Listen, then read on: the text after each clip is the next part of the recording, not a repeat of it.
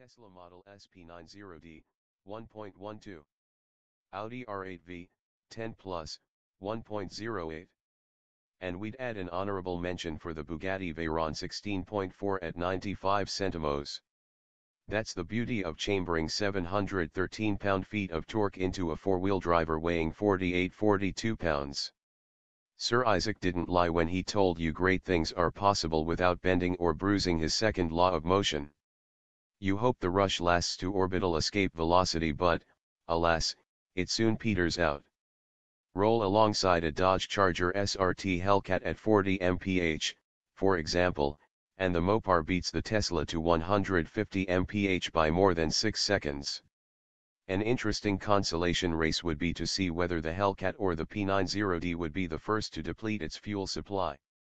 For now, we are satisfied in the knowledge that this is the quickest production four-door ever conceived.